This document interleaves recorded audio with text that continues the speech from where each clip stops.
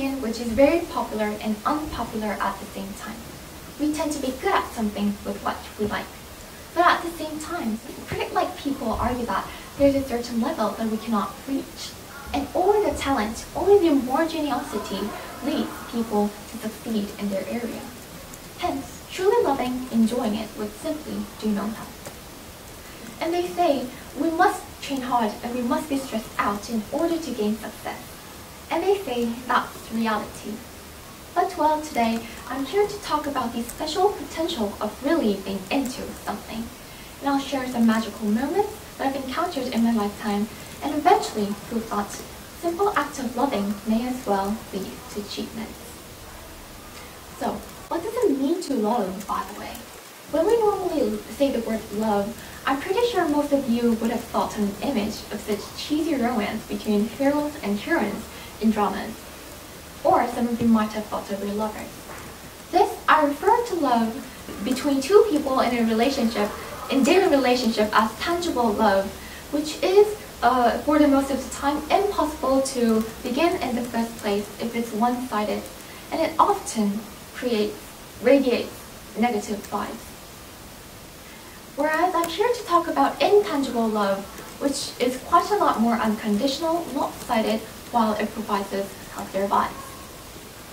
Intangible love may include doing hobbies, doing a deep study, daydreaming about novels and films, or even sometimes deep fangirl fanboying a celebrity. And I find these kinds of love quite special, and that's because for the most of the time, we do not expect any return. Ironically, when we totally forget about receiving good outputs, we're more likely to benefit from the simple act of being into. And this is how it works. We all know that it's immensely soothing to do what we love. When we meet people we like, when we eat our favorite treats, we feel huge happiness. Newer studies also support that a suitable amount of hobby time effectively relieves our stress too. But more than that, I an experience of regaining mental health through this intangible form of love. Back my younger days, like when I was a small, small kid, I always wanted myself to be perfect. I wanted I to talk more elegantly, look prettier, have great self-management, and be full of confidence at every second, just like what people call that girl. And since I was so obsessed with how others would judge me, I went oversensitive, emotional, cranky, and that, in the end, ruined all the relationships with my people.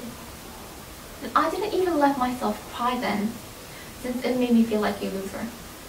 And that pathological mindset made me wallow in self-hatred and self-pity for several additional years. Throughout those puberty days, I felt like I'd become a hedgehog that would basically poke everyone away, but count the corner, would never get to love someone else, nor my own self.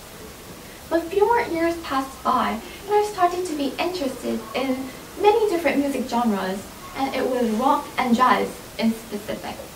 And I happened to fall into a certain drummer boy in a rock band, and that was January 2019. During the past three years, uh, I tried my best to be, to be sincere in my emotions within this unreachable relationship.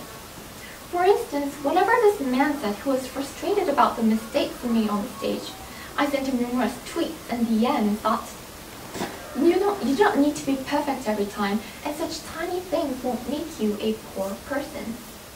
Though perfectness was not what I expected, what I wanted from him, but I said I'd still support his goals and efforts to gain excellence. And then one day I was writing such supportive messages as usual, and then I suddenly realized that why have been I such a mean girl to myself, while I can be this kind? And that was how I started to treat myself in a much mature, gentle way. In other words, I was able to learn how to take care and tenderize myself by the process of loving someone other.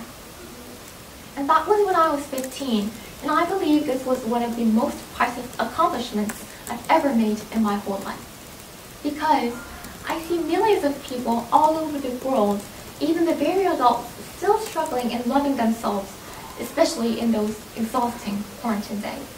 That's why I have thousands of books and songs about self-love, since it is one of the toughest assignments for us to solve. I got to love myself better from loving someone other that I cannot even reach. Though I do know that my experience is quite unique and I haven't seen anyone go through a similar experience, yet many people gain courage and joy by their love. And I believe doing what we love is never a waste if we could find happiness there. Other than mental cures, intangible love benefits us in many different forms. And I learned this from meeting various people in my lifetime, and they in common showed me that people could be benefited by their loves in every which way. So let me introduce you some. A few years ago, I used to run a blog to upload some postings, to upload my, to upload my interests. And by writing good amount of journal three to four times a week, and under the feedback of my 300 subscribers, uh, the writing, the act of writing has become a part of my daily routine. And I'm not a professional, professional writer of what, but that experience made me, helped me find my own writing style and taught me how to write catchy ghosting. Most of all, I was able to recognize that writing could be a wonderfully refreshing habit to have. Also, one of a friend of mine, she, was, she first fell in love with pretty little element gemstones, which led her to be into chemical elements when she was a kid. She had told me that she had memorized most parts of periodic table when she was 10. Though she couldn't understand what those were all about, she just did that simply because she liked it. And now I hardly see her giving wrong answers in chemistry exams. That little interest became an extension to harder level, challenging level of study. Like in this mechanism, we tend to become semi-experts in the field we like. Plus, since we're familiar with the topic and we have more background knowledges, we're more likely to enjoy the process of learning therefore become highly competitive. We have much confidence and self-efficacy compared to others who have never fallen in love with it. However, in modern society, especially in South Korea, we're often demanded to pretend love. In South Korea, especially in, in this distorted education system, often pushes students to make up their fake interest and deceive their own ge their genuine preference in order to create a seemingly nice professional resume. Even in situations of self-introduction, I've seen so many friends telling me that they have no idea what they really like. Well, most of the time I see them, it isn't that they aren't interested in anything. In fact, they try to hide or deny their true interest just because it seems absurd or childish to show to others. Really, love has nothing to do with professionality. You may like to read romance novels instead of articles. You may want to watch hamster videos rather not true documentaries. Although some might seem really trivial or maybe funny, but if you're totally into it, the benefits will be eventually be revealed in any form, anyhow. And some might say it's a whole bunch of waste, I want to say not only the act of loving itself is valuable, but also there are returns. Everyone must have had an experience of being immersed in dinosaurs, car models, or stuffies once in their childhood. At the same time, eminent revolutionists, entrepreneurs, and novel artists were known to be real maniacs of their fields. We may, think, we may think those people were just extraordinarily gifted by luck, but see, everyone has their experience of being gone crazy about something.